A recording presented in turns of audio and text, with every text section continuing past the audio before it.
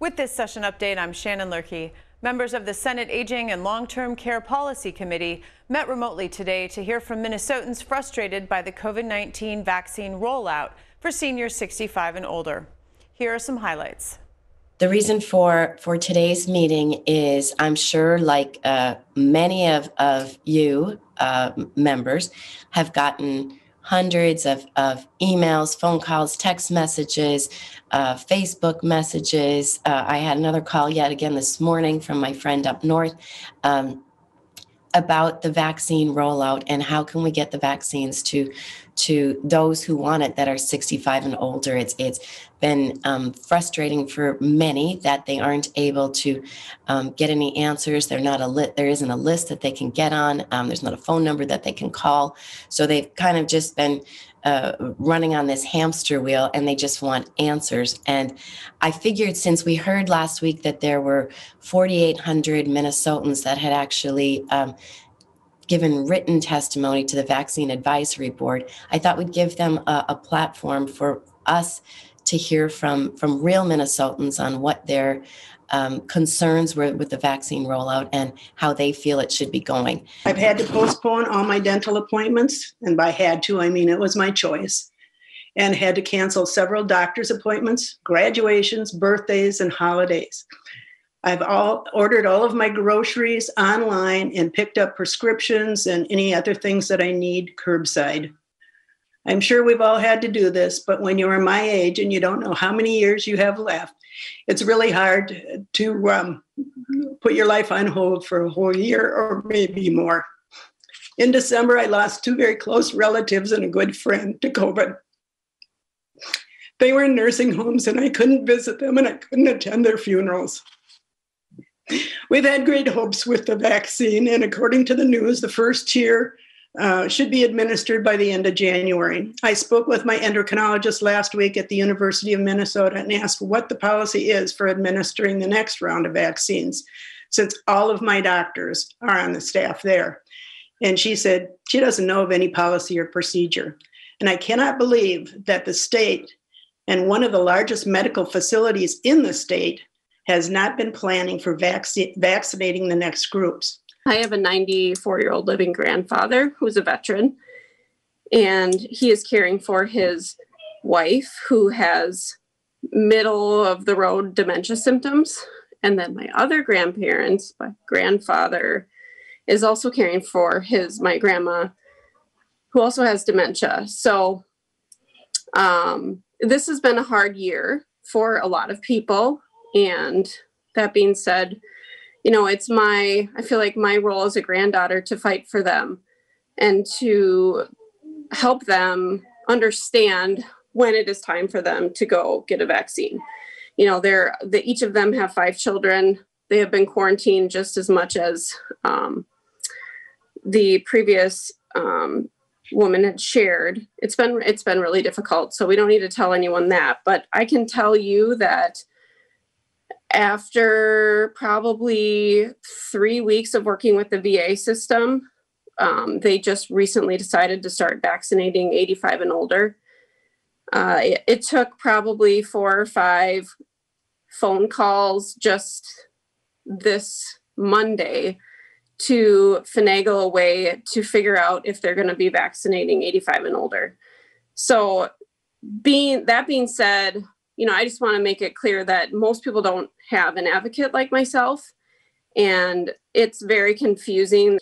My mom is 89. She'll be turning 90 at the beginning of April. She lives alone in her own home where she has lived for over 50 years. She's comfortable there and she's able to take care of herself quite well. She walks two miles a day on her treadmill and spends her days quilting and reading, and she can clean circles around me. She's amazing. She really is. But since last March 14th, my mom has rarely left her home and she's so very, very lonely. Um, I'm retired and I don't see other people, so I'm clean. So I go to visit her once a month or so, but I had COVID over the holidays and now she's even scared to death to see me.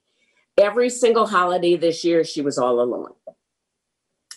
She wants to be vaccinated, so she called our local doc- doctor's office in Pipestone, and the clinic told her they weren't sure when she would be in line for a vaccine, but that she should watch our lo- our local weekly newspaper and listen to our local radio station to find out when the vaccine would be available to her. My nephew, who's her grandson, is getting married on March 13th, and she really, really wants to go to the wedding because she hasn't really been out of the house in a year. But she will not go if she hasn't received the vaccine. Um, this is just one one of the many ways in which her world has been upside down since COVID started. In other states, elderly individuals can sign up to make an appointment online to receive a vaccine. Since I live in Southwest Minnesota, we live very close to um, South Dakota, just a couple mile, it's a couple miles from my house. And the elderly there can receive their vaccines now. So why isn't Minnesota up to speed with what other states are doing? And why is it so hard to get any information about where and when my mom can be vaccinated? I have a drugstore, a local community drugstore in Winsted, Minnesota, so about 50 miles west of Minneapolis. And um, we would really like to vaccinate as many seniors as we possibly can. We're just not really given the opportunity to do so. Um, I heard on the news this morning that less than 35% of the doses that have been dispersed have actually been utilized. And to me, that is a tragedy. Um, states like West Virginia didn't go along with the using the uh, two chains to be able to roll the vaccine out, and they are 100% complete with phase one. I think if uh, Minnesota Department of Health and even the Minnesota Board of Pharmacy would understand the value that community pharmacists bring to the communities and how quickly we could get the vaccine out, uh, Minnesota would be in much better, a much better in a different place right now. My mom was in the hospital when they got the shot at her facility. When my mom went back to her facility, she was not allowed to have the shot. And they told her that she could not have her shot until they came back for the second dose, which would be in February. I don't understand why. Um, I've offered to take my mom to the doctor to get the shot. Nobody will give me the answer for that. Um, I have a problem with only the nursing home getting the shot because we have assisted living there, we have memory care there, we have staff that goes throughout out the building. And so if you're going to give it to one, I feel you should give it to all of them. Um, I just, I really feel that the Minnesota Department of Health is playing games with our loved ones' lives. I have my 92 year old mother living with me. Um, she probably takes better care of me than I do of her. She's very, very uh, adept at what she does. Uh, she's a retired RN, and um, we're both having issues understanding why the Minnesota Department of Health is failing us so um, dramatically. Uh, there's been no communication. There are no phone numbers, as Dr. Scott Jensen mentioned. There's nothing on the news. We were Governor Walz's office was was fully adequate in providing us updates on the virus. Uh, they even mentioned that the federal government was failing in in um, coming to uh, grips with how we might administer this and coming up with a plan. And at the same time, they were neglecting providing any type of a plan for their residents of Minnesota. Um, I feel that uh, at this point in time, uh, if they don't have a solution, then they should step down and get out of the way.